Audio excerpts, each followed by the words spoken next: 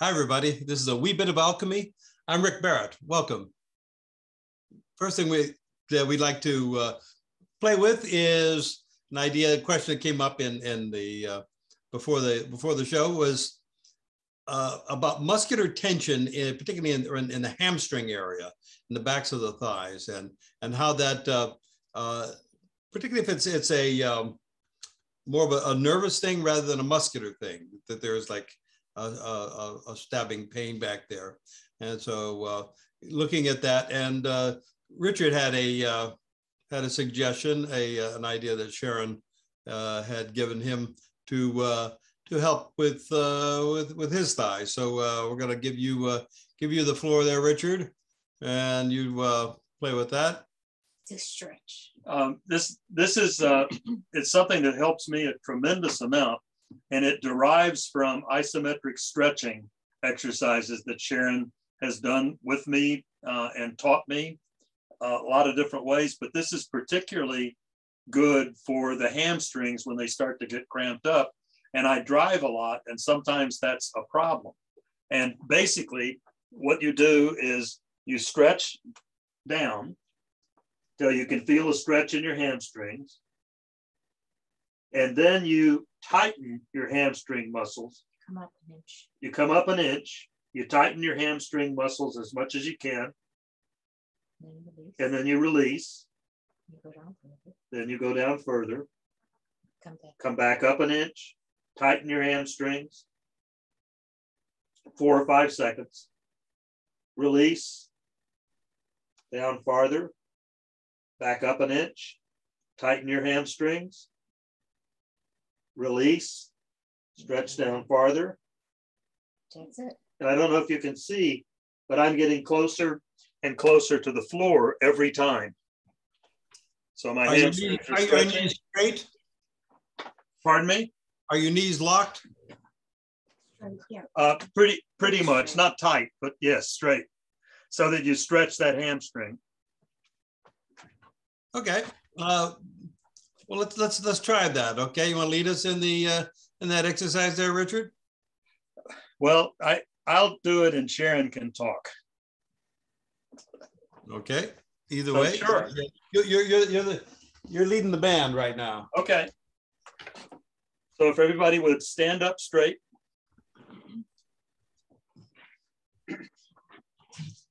And basically, you're going to just like you're doing a going to stretch your hamstrings and kind of find what your barrier is. You got it. All right. Everybody's going to be in a different place. Knees are relatively straight. Find that barrier.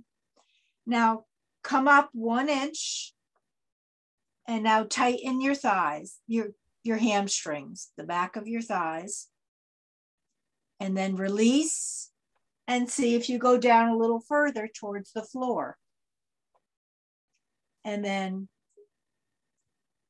move back up an inch, about an inch.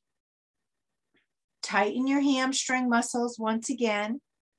Four or five seconds. Release the muscles and see if you go down further. And one more time, come up about an inch. Tighten your hamstrings. Make sure you're breathing. And once again, go down, Release. release. And just You can do that as many times as you want. Um, Did until you you- get closer and closer to the floor, of course. Yeah. Did anybody make any progress with that? Sure, sure. That uh, felt good. It's a, it's a, it's a very quick way. You can do that very quickly and gain, you know, a lot of stretch. Excellent. That it works for me when if I've been driving and my hamstrings start to really cramp up, I just stop, get out of the car, do this for two or three minutes, and I'm good for another hour. Great. Good. I love a good stretch. Thank you. Beautiful.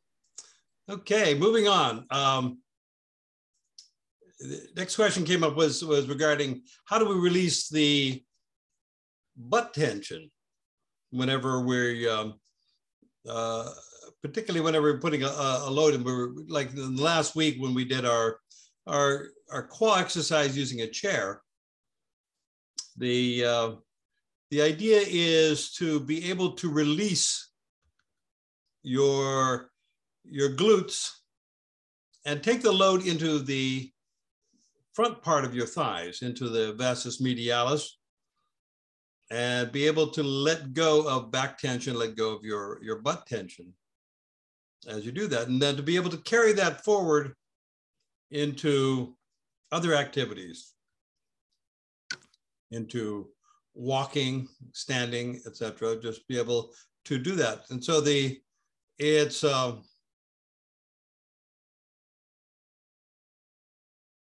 it's a shift in terms of your relationship to your body since we have a uh, we have patterns that have been established for decades, probably since you were a uh, you know a year old, and uh, about how your body feels safe and feels comfortable, and so it triggers what's uh, what's called the tendon guard reflex whenever you are at all it's uh, at all under stress or all uh, uh, your, your balance is at all questioned. It initiates in the Achilles tendon and shoots up your leg and tightens up the tissues above it, tight, particularly along the superficial backline of fascia, and locks things up. And just it's a way of of your initial response to falling over is to to kick in this thing. It's a pre-conscious response. It's not something you you activate by thinking about it. It's something that happens automatically, and which is fine. You don't want to lose that, but at the same time, you don't want to have it so you can't turn it off, because if it is locked in, then you'll find that the tissues get, particularly if you are uh, leading an existence which has numerous stresses in it that you find that that gets locked up and maybe even while you're asleep you'll find that you're you're tightening up and you'll find that you know you you wake up and and your your your legs are are locked your butt's locked your there's a, a, a sense of exhaustion from from having worked so hard while you're sleeping. And you know, I think while you're dreaming or whatever, there things get you know stimulated. Your sympathetic nervous system gets stimulated, and and if your response to that is to lock up, then you'll find that that's going on a lot of the time. And over time, that then becomes a a feedback loop. In other words, your that will stress will trigger that response, which will then trigger stress, which will then trigger that response, and that'll keep going more and more. So your body gets into a, a pattern, a habitual pattern where that is where you feel safe. You feel safe when you're tight assed. And, uh, and the problem with that, many problems with that, most the biggest problem is that it blocks your energy north south. So you end up uh, disconnecting from your earth chi it affects the way your hips work. So you're not able to get Song Kua. You're not able to, to release your hip, hip joints and be able to really sink into that, which then means that your Tai Chi Chuan is going to suffer. You're not going to get that the full benefit from your practice. It by keeping the energy, the energy from your upper body, it's unable to ground. So then it tends to rise and get stuck in your head. And then you kind of get into heady stuff, mental perseverations and loops, thought loops, things like that. Your um, your the the yin chi of the earth is not allowed to rise past past your hips except for a, a trickle, and then so consequently you don't get that nurturing, supportive energy from the earth. So what happens is the body then says, "Okay, I'm on my own here. I'm going to have to tighten up in order to protect myself. So then we get back into that loop again. So being able to, even a little bit, be able to start to let go of that, of that um, tension in your glutes and to be able to feel the support on the front of your thighs, which will feel weird when you first start doing it because it's not how most of us operate. It's something that it's way we're designed, but it's not uh, it's not a common way of moving, common way of holding ourselves. Unless you play a lot of soccer and then you, you get your, that muscle will start to get a, uh, we'll get, uh, we'll get a workout. But most of us, we don't get that. So being able to do that, um, really start to count on your the front part of your your thighs and do it in a, a, a, a yin way that is your you're yielding, you're soft and sinking into the, the, the support rather than pushing away from the earth, then you start to be able to let go of this other tension. So uh, let's just go over that again and I'll, I'll talk you through it because I think it's a really important thing. One thing I didn't mention, I don't think much I, I did in the past, but it's, it's real important for knee health because the that muscle is the one one of your muscles that that I think the only one that connects your kneecap with your with your hip bone. And so your the support you get from you know to center and control your knee is uh, directly related to the health and tone, tone, tonality of your of your vastus medialis. So you want to you want to have that as a uh, just there as uh, uh, an important thing for keeping your knees healthy. So in ter- I know whenever I um, tore the meniscus in both knees, uh, like a year and a half ago, I uh, I was looking at surgery and decided I was going to try to rehabilitate it because my knees were swelling up. They were, you know, it was becoming a very big, painful problem for me. And um, it was affecting my tennis game quite a bit. So I uh, so I started to play around with this, and I started to work on tonifying my uh, you know the anterior parts of my thighs, and something I had used to do when I was playing push hands uh, a lot, and and it kind of slipped out, and then I got it back, and and my knees were very responsive, and the the um, meniscus problems are are not bothering me. You know, I don't know if they've healed or not, but they're not a problem. So I never, I don't have a, I don't think about it, and I can play, you know, tennis and whatnot without without any knee pain. So anyway, the uh, let's do this. Uh, don't you stand up? And we'll just go go over this one again. Okay, the idea here is that I'm going to feel the ball of my left foot I'm gonna pick up my right heel. So all my weight is in my, my left leg. Okay, I set my knee. So the knee's not gonna move. And I'm gonna keep my hand on the chair here. So it's not gonna do much in the way of support, but it's there just as a, as a guide. And I think it's real important to practice with a chair because otherwise you're gonna tend to clench your butt. And this way you, if you don't have a, uh, a, a fear that you're going to fall over, then you're able to let go more. And then you just gradually bow forward without pushing your butt back. So you're bowing forward, keeping your back straight, and seeing how much tension you can let go in the backs of your legs, in your butt, and in your back. And then come up. So notice I'm not pushing away from the earth. I'm just rocking from the hip joint. And I bow forward again. And don't you don't have to go very far because what is happening is you're bowing forward, so your your weight is out over over your foot. So it's this um, a, a place where your the alarm system in your body mind is going to start ringing some bells, which is what's going to alert your your your muscles to uh, to tighten up. And so with that, it, it, the case, then you say, okay, what can I let go of? And you do it again. You come up and you bow and you do it again.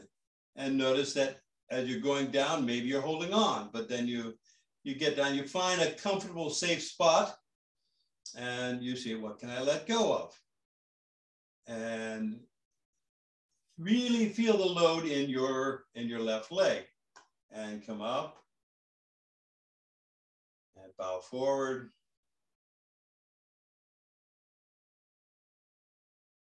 Release sink. You know the and you really want that that back leg to be really empty because you want any tension in your in your right hip is going to cause your left hip to tense up also. So you want to let that go. You want to really feel soft and gooey there.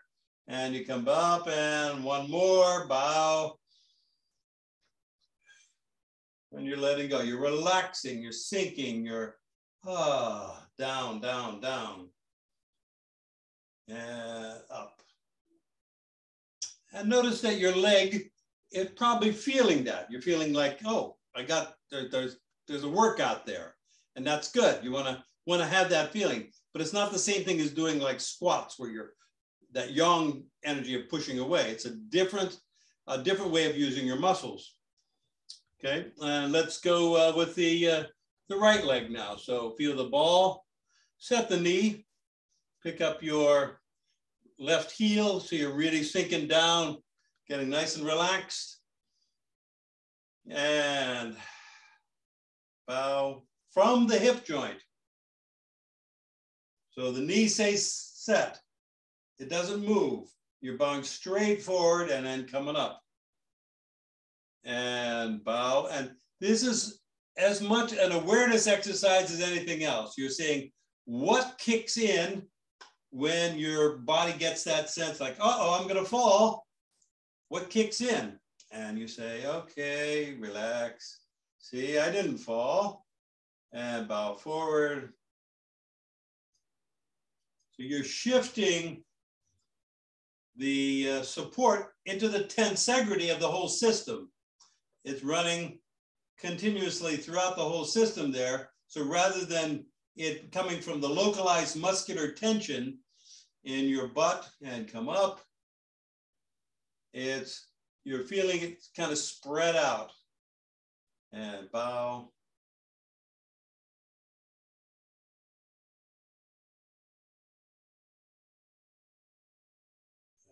up.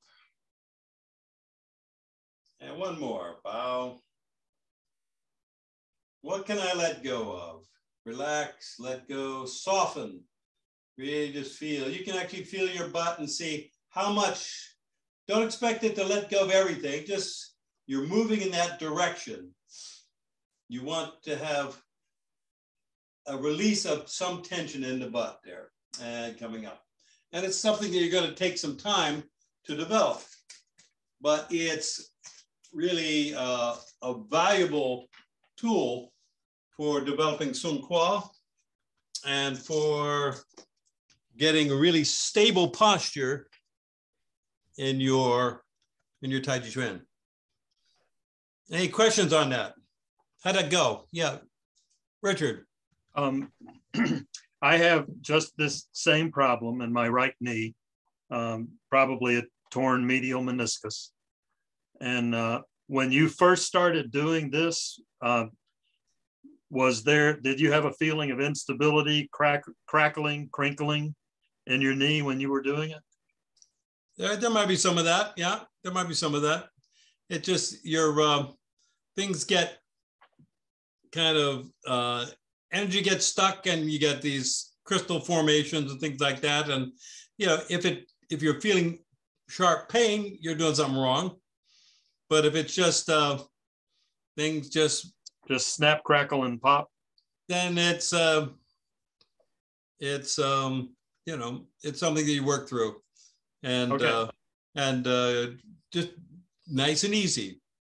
Yeah, because nice I've been when when you first showed us this, I I tried doing it for uh, quite a while, and I sort of stopped because I was concerned about the crackling. yeah. I think the crackling comes more from inactivity. Okay. From, than it does from from this kind of activity. Yeah. Okay. I'm gonna I'm gonna become devoted again. So thank you. Cool. You bet. Keith, you got something?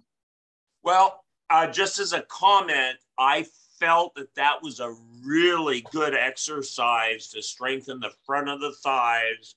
And as Val says, what she uses her squishy, squishy butt thing, uh, to try just to take the tension away from that, you know, I, that was a really good, Oh, you know, what's exercise to work on because I, it caused me no stress at all.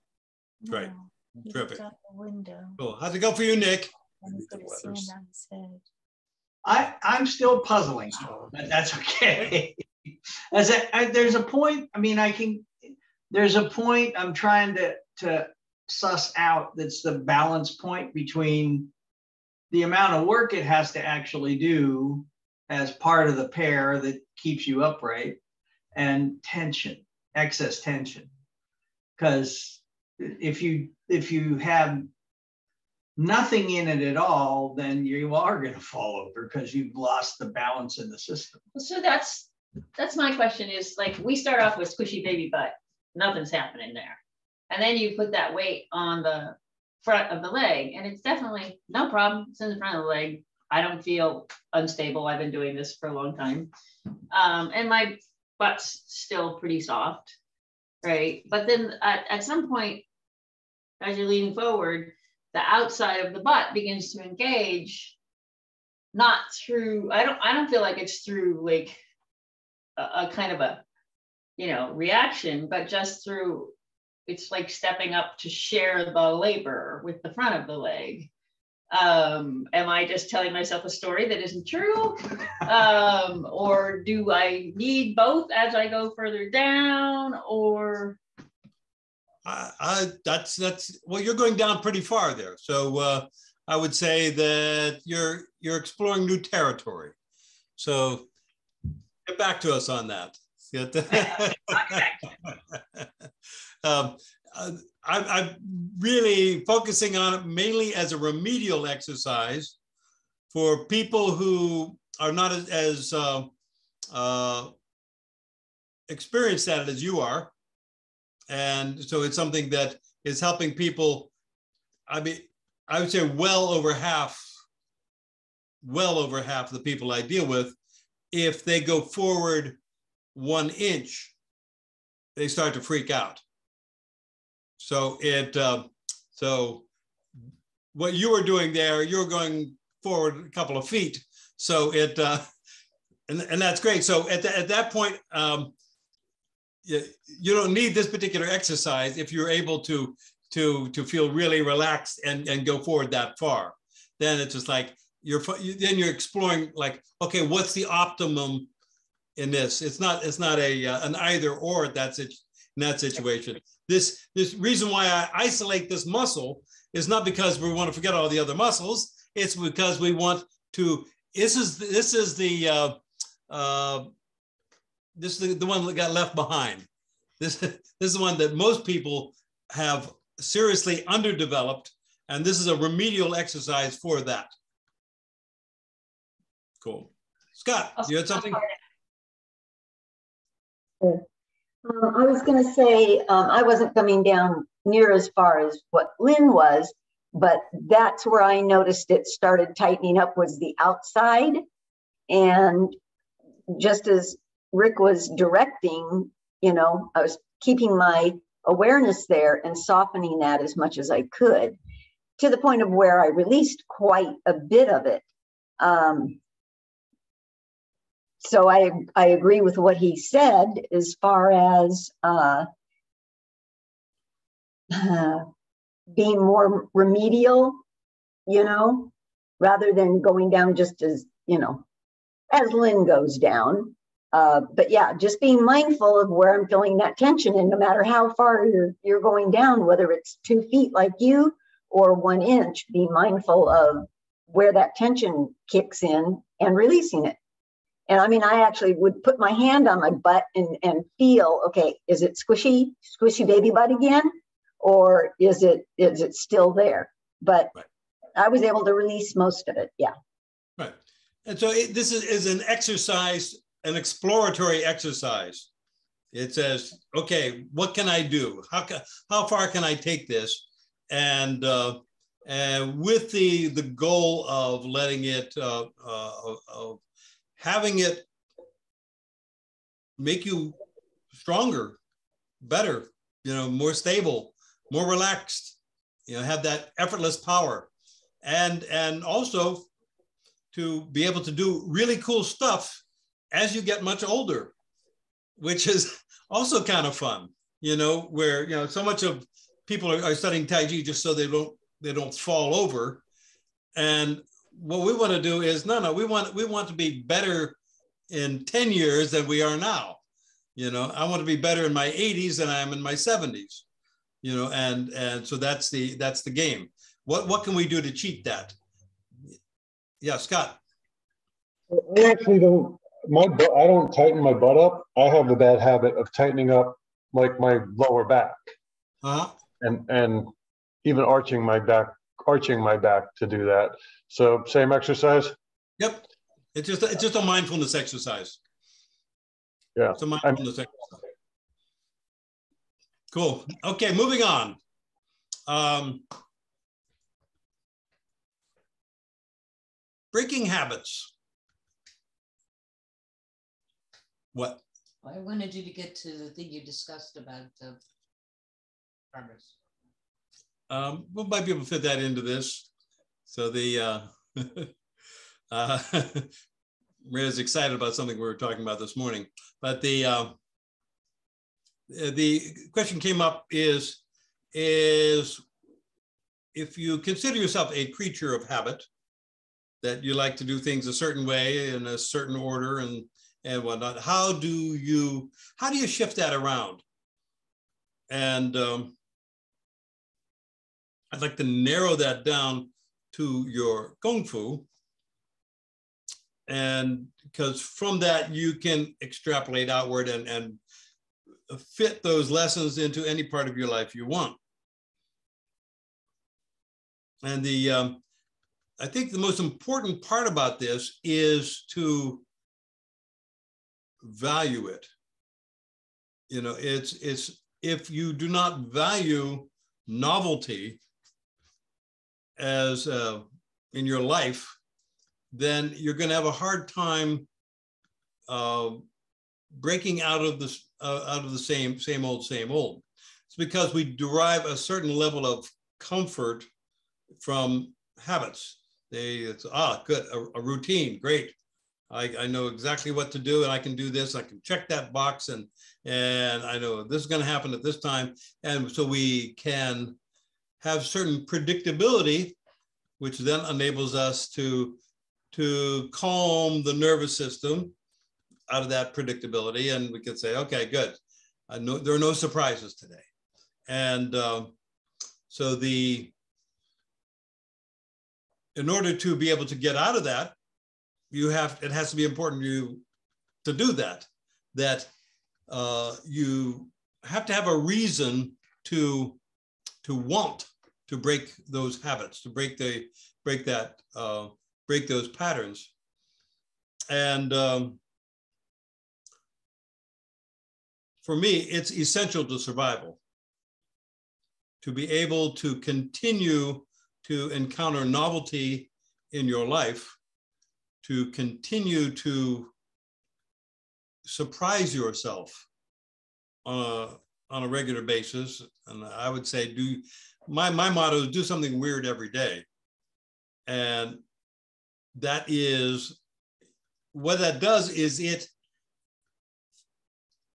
requires your brain to make new neural connections.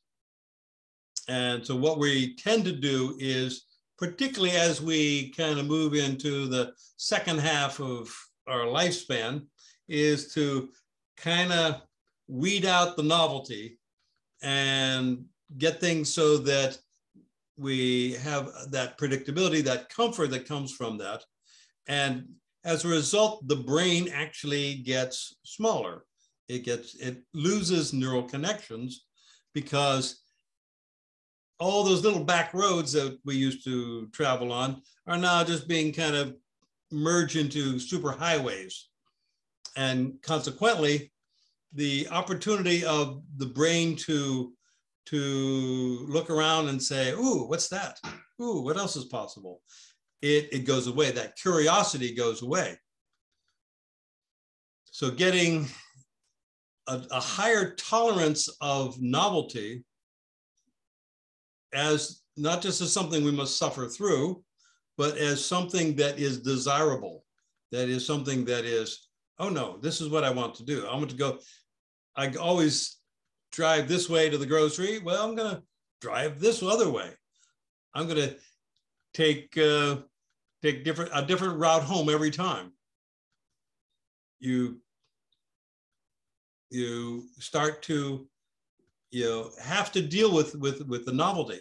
That's why in our kung fu we are constantly challenging, we're constantly stressing the system so that we can build these new neural connections, which enable us to not be overwhelmed by the surprises that life presents us. So learning how to do that, the first and, and most important step is to wanna. You gotta wanna like doing that. If not, you're just gonna go back to what feels feels comfortable.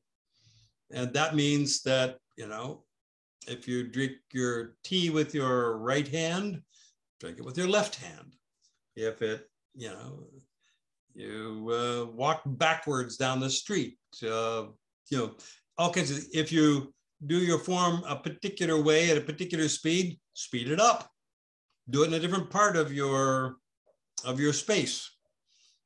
Um, learn a brand new form. Do something that you've never done before. Speed it, you know, if you're if you're do it with uh, fudging, do uh, what what look at each thing and, uh, and explore it and say what what can I do with this?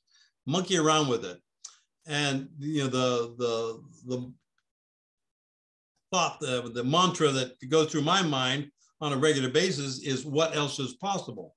Anytime I see something, you know, and say, this is how it is, I say, yes, this is how it is. Great. Now, what else is possible? And you go and you say, you know, you, you look at it and you say, oh boy, I accept you and love you exactly as you are. Now, what else can we do with this? You know, how can we make up something more, more interesting, more fun, better than what we've got? and so that uh, it, you end up your life becomes art so now i've kind of made the jump here from kung fu into into life but it's the same same kind of deal your your art your martial art is an art to the extent that you are just following the patterns that were handed down to you by your teacher and his teacher before him and and her teacher before him and whatever that's uh um you're going to get am I conforming to this set of rigid rules? That's that's kind of the thing, and uh, I drive some comfort from having this, knowing that I am doing it exactly like my teacher did. And uh, but if you then say, no, I'm going to do it different, then you start to wake things up. Then you start to say, oh, we'll exploit, and then you may come back to what uh, what what was successful before, the way you learned it before, because it worked better. But you want to at least try. So that uh, um, that's some of my thoughts on on on the uh, on the idea of breaking habits. Uh, any questions or thoughts on that?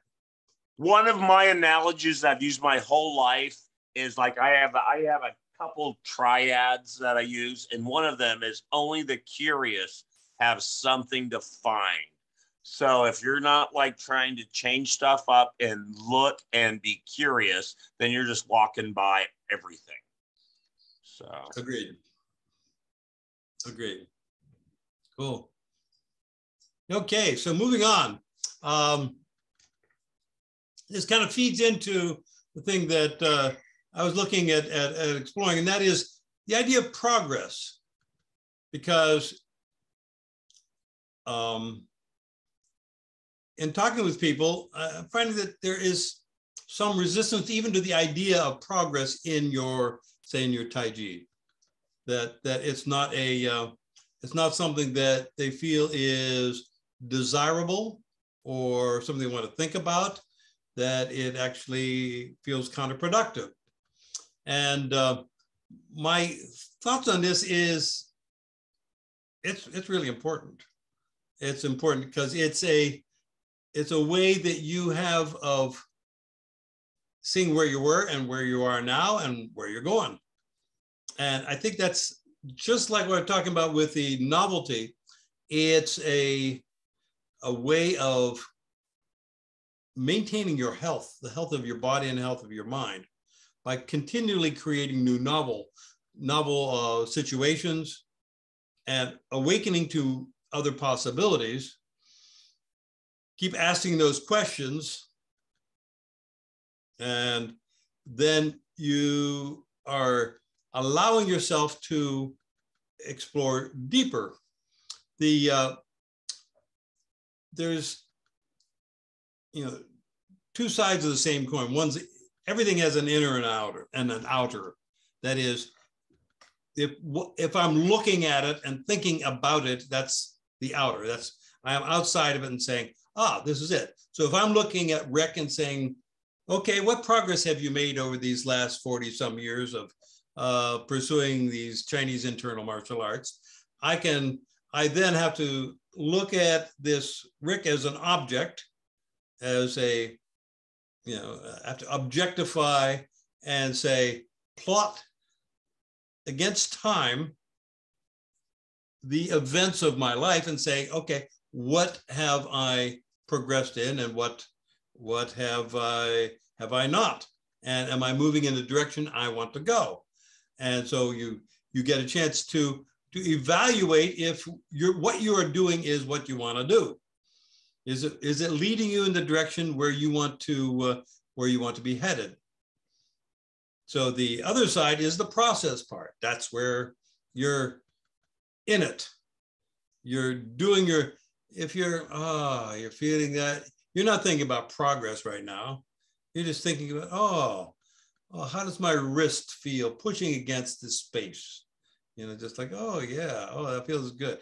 You're in the present moment there is, you are inside of your form, you're inside of your process. And you're in the process, so you're you're not looking at and thinking about it. So, but if it's all that, then maybe you have no idea of of of what you're learning or how it fits into anything else. You need to be able to step back and say, oh, oh yeah. So you know, you can look at and say, okay, I need to learn this form. And okay, that's that's if I can get to the end of the form and not fall over, great. That's that's progress. Okay, good. Now I need to be able to do that form on my own without having just following along, but I need to be able to do that on my own. Great. Okay, that's progress. Okay, now I can have it so well under under my control that I can do it in front of other people and feel okay about that. That's more progress.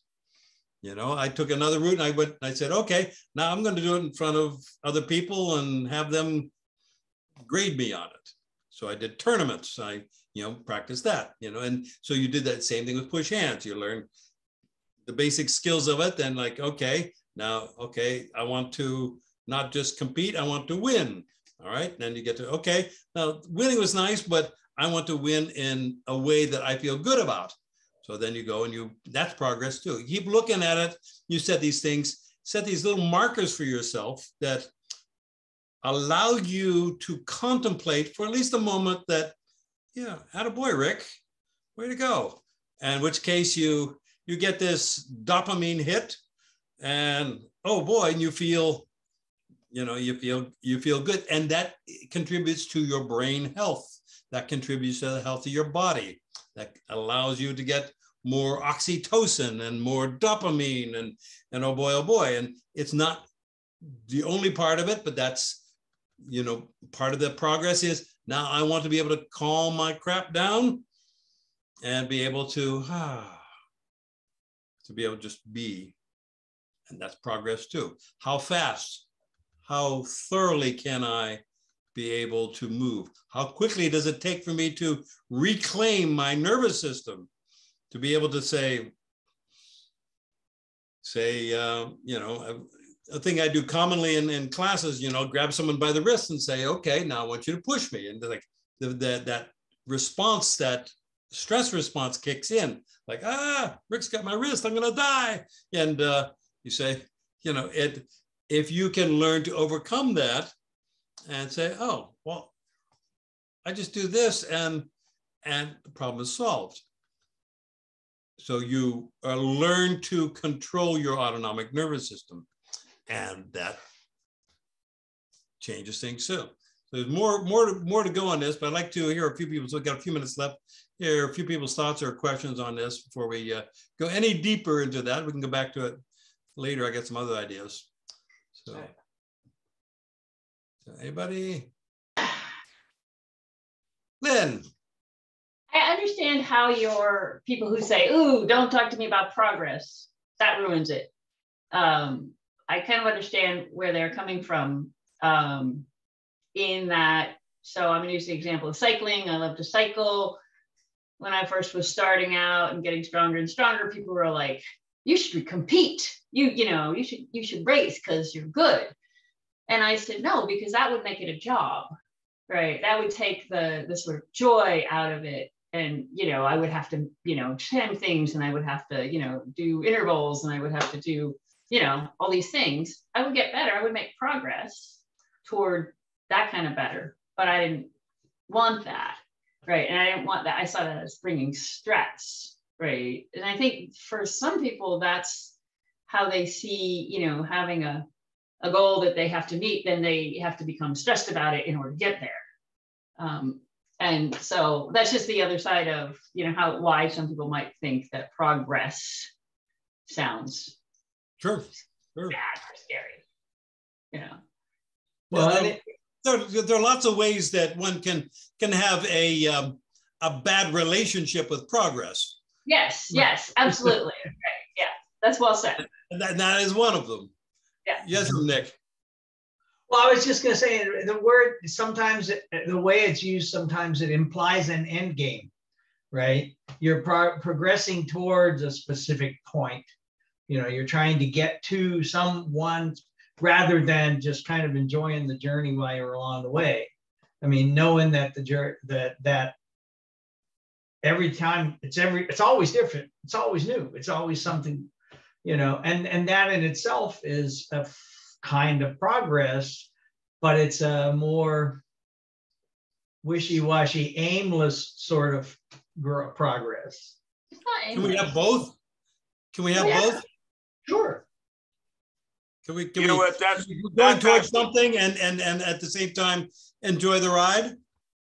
Yeah. You know that's pretty astute, Rick, because that's half of it.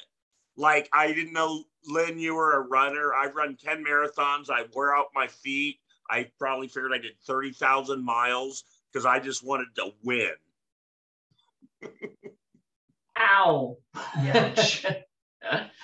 That's an unhealthy relationship to progress. and the tarmac, frankly. so there, there are lots of unhealthy relationships to progress, but if we look at it as both the inner and the outer, progress and process as two, two sides of the same thing, and that if you're able to enjoy the hell out of that running a marathon, then you know it's it's becomes doesn't become such a uh, a torturous event. You know, it's something that you you do because you like it. You know, and uh, and you even if even if it's going experiencing a the severe discomfort, which you inevitably will, you know, it uh, it's part of that that process that that you say, yeah, this is I embrace the pain. I embrace the uh, this because it's a uh, it's a, something that is enabling me to play a game that I want to play. Really, it's just like there's no feeling when you reach the finish line and it stops after 26.2 miles. I bet. yeah, I, I, wrote a blog a few weeks ago about uh, after I guess it's a month or so ago now, but you know, right after the Australian Open, and and just watching how uh, Rafael Nadal, you know, was able to come back from the brink of elimination, and and beat someone in in a uh, you know he was down two sets to love and was facing elimination in the third set, and then you just kept chipping away, chipping away, chipping away, and came back and won and uh, but his process is he loves the suffering. He lo- it's it's not it's something that is part of part of the game for him. It's like yes, I love the suffering. That is fulfilling, and it's the reason why he does what he does. Is because there is he knows that he's right there at the edge. He's you know playing against guys who are like 10 years younger than him and he's still playing and he's still winning. And it's because he embraces the stress. And the stress is is your friend. It's not not not your enemy but mm-hmm. it and it, your relationship to it just like your relationship to progress can be a um, uh, one that is uh, a dysfunctional relationship because stress is essential for survival. But if you uh, if you have a dysfunctional relationship with stress, then it will wear you down and grind you under and spit you out. So uh, it's learning to be able to shift that, and that goes back to progress. So being able to encounter the stresses that one encounters always when one seeks to be more seeks to expand one's ability. And if you don't, if you're not expanding, you're contracting because the universe has a way of, of pushing entropy upon you if you're not, uh, if you're not willing to, to get a little bit bigger, embrace a little bit more. Jonathan. Nadal, of course, is a creature of habit. It's uh, you know, I, I, hear what you say about novelty, but I guess people of that level of genius and depth in one area, like tennis or Beethoven with music or Kant with philosophy, perhaps they can be creatures of habit and still get a lot of novelty because of how deep they're going within their one chosen area of concentration. Yeah, we all need certain things that we can count on, certain things that that are stable. So right. he's a guy who likes to have his water bottle set up just so. And he says, it's his meditation. He says, it, if I do that, it brings me back. Right. He's just, he's just gone through a 35 shot point. Right. You know, and he is exhausted. And what does he do to bring himself back? Oh, I'll go back and I'll adjust my water bottles. Oh, good. Right. right. That just don't mess with the water. Right. So that that's his meditation. It's not like he's right. a he's OCD. It's he's he said, no, no, this is what I do. This is how I, this is how I bring myself back into present time and end that previous point and start over. Now is an entirely new point. And so it's, uh, it's, a, it's actually quite genius to, to do that, you know, and it's something we all do. But if, uh, you know, the question came up like, how do I break out of habits? And that's when the habits are owning me and I'm not owning them, you know. Mm-hmm. So there's mm-hmm. a habit become what he does would, would probably better be called a ritual than a mm. than a habit. You know, so if we're feeling that I have to do it a certain way, then we want to say alter just some piece of that. What piece of that can I take responsibility for and say, oh yeah, I will do this slightly different just to show that I'm driving the bus. And then Valerie, you had something? That's great rather than having to change the whole ball of wax, just change a portion because I'm driving the bus. That that's that's that's a really great thing. Great thing. I like that. Um, I right now um, mentioned this uh, in another segment. Um, I'm learning a new form, and I know that there is going to be an end to being able to do the movements profi- sort of proficiently. there's one part that I can't stick quite. And I'm not stuck on having to do that excellently. It's like, okay, I can do it sort of half assed, but every time that I start from the beginning and do it over, you know, I get to that point and I either am not good at it or it's like, ah, and I see the progress. Um, and I'm taking it very slow. You know, I'm not not trying to, I'm not in a race with myself to finish this thing. I want to be able to finish it and remember it and be able to do it proficiently each time that I start from the beginning and complete it. Um, so yes, the getting better and the progress. I'm, I'm having a little mind shift here on on progress. That's that, that's that's great because you know, I mean, if I learn all of the the movements, it's like, well, what now? It's not. It's more what else is possible, and that's to keep improving. You know, to keep progressing. Um, I mean, right now, I can I can do this in front of my students and they don't know anything, so they don't know if I'm good or not. So I'm not afraid to do it in front of some people. Um, my test will be able to do it in front of Lynn because Lynn knows the same, well, Lynn and Nick.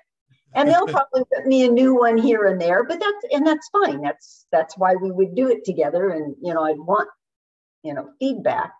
But uh, yeah, I can very much appreciate what you're talking about as far as the progress and and keep going forward and seeing improvement um, and, and not beating myself up. And I'm creating new neural pathways. Who knew? Great. Richard. Um, as we're talking, I'm thinking that uh, a measure of progress should be your ability to maintain joy in the activity. Um, and that can come a lot of different ways. It can come from getting a little better at a mm. particular physical movement, or it can come at being uh, really happy that you've done what you did today. Uh, yeah. So, so I think that pro- if I think that's a good way to define progress, maintaining joy in the activity. Uh, I like it. I think that that's a healthy relationship with progress. Yes. well, yes. Well, uh, you, know, you can have a sadomasochistic relationship with progress that would keep you joyful, but but yes, it's a positive relationship. Okay, one more, Jonathan. Yeah, going with that, Richard, there was a Gramsci said a definition of progress is also resisting the forces of regression. So insofar as you're getting bored, you're regressing away from joy, and that tells you you're not making progress too. Hmm. Great. Cool. Okay, thank you, everybody. This has been great. Thank you, Maria. Thank you, Maria. Thank you, Maria. Love everyone.